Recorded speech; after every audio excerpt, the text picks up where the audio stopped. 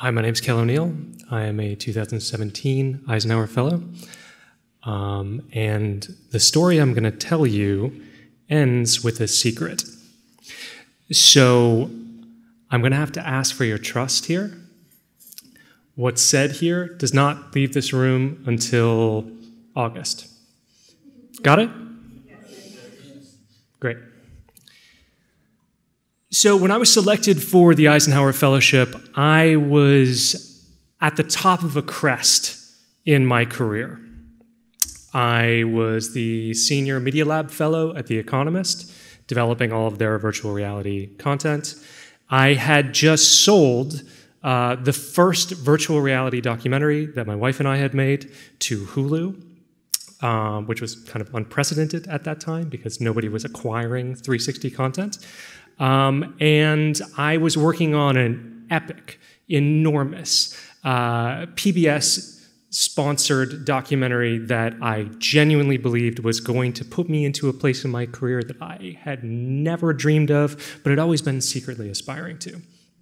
And as kind of the cherry on the sundae, I was invited to become an Eisenhower Fellow. So great.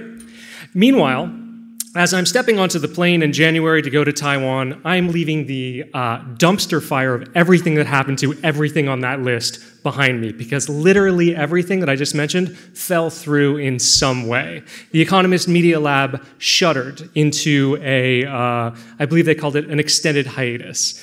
Hulu's VR app is unusable and unsearchable. It literally does not have a search index in it, so if you wanted to find our film, you would not be able to do it. And that film that I've been working on for so long just fell apart in a legal souffle. Um, bear in mind that we had filmed everything, we had raised all of the money, and in fact, and I encourage you not to do this, you can actually go and watch me giving a speech at South by Southwest in 2016 to a room full of more than a thousand people talking about how great that project is going to be. It is amazing how humbled you can get and how quickly you can be that humbled. so I arrived in Taiwan, not entirely sure what to do, but definitely furthering my professional career wasn't the first thing on my mind. But I took those meetings. I met with uh, some of the leaders of the AR and VR industry there. I spent a lot of time with HTC, but mostly I, I ate really, really well. Um,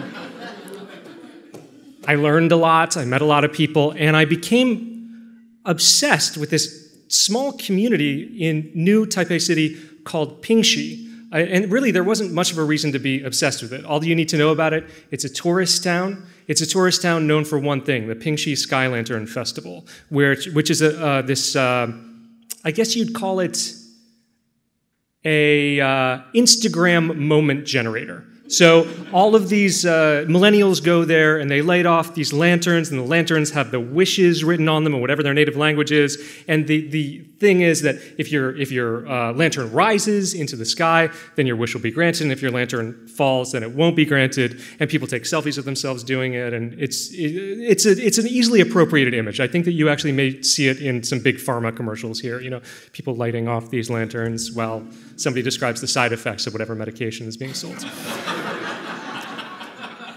So I just started going to this town. My wife and I we started going there. It's how we work on documentaries a lot of the time. We'll find a community and we'll just kind of just be like, no, this is interesting. It draws us like a magnet. And we keep coming back and keep coming back. And over the course of these kind of weekend trips, we realized that there was something more than just people lighting off lanterns and putting them into the sky. There was a whole ecosystem and a, a whole life cycle to these lanterns that the town was sustaining. So young people light off lanterns they go up into the air, they fall, they hang in trees like distended Christmas ornaments. And then in the morning, old people from the town go out into the mountains, they pull them down, they sell them back to the lantern sellers who recycle the tissue paper, take the bamboo frames, rewrap them into new lanterns, and the cycle continues the next day with the young people lighting off the lanterns, putting their youthful wishes into the world and into the stratosphere. So that's interesting. So we keep going back. We keep going back.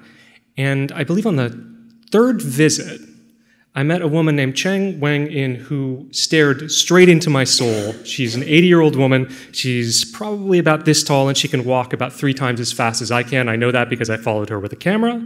Um, and uh, Madam, she, she, she lives in a abandoned school on the outskirts of, of this small town. And inside that school, she's built a temple.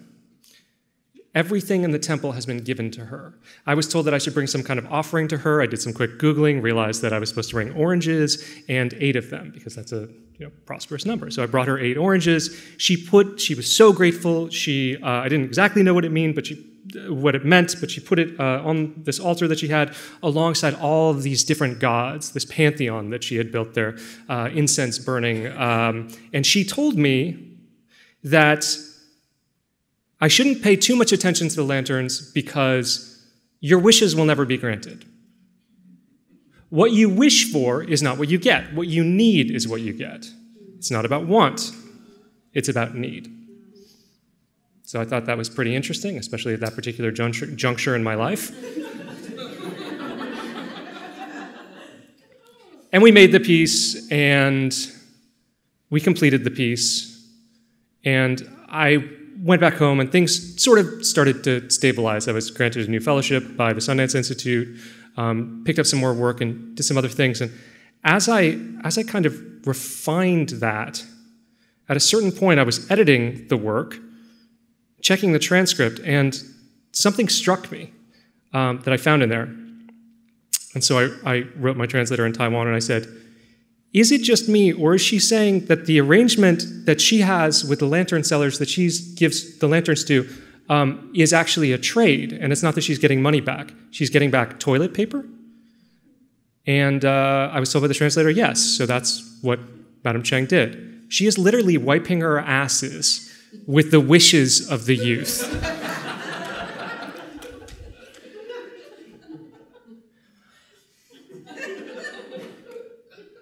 as I said, I, I, went to Taiwan at the height of a professional crest, and I watched the cycle go down, and I, I believe that it's starting to, to rise again. And it, it occurs to me that that cycle is, is really the hardest thing to adjust to, the hardest thing to, to, to realize in your life. You, you expect that things are just going to go up, up, up, up, up, but in actuality, they go round and round and round.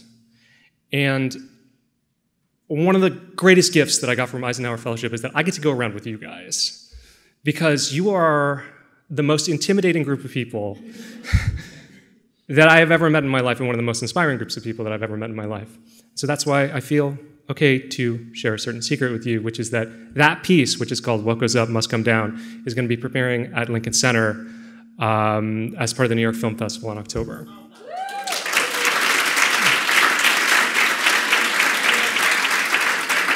And I also, I think that this is a great opportunity to apologize to my case officer. There she is. Hey, I'm sorry that I didn't do whatever thing about that new media lab that I wanted to build, because uh, I just, it ended up being a, a much simpler project, but I hope it's one of great beauty. So thank you guys. Thanks.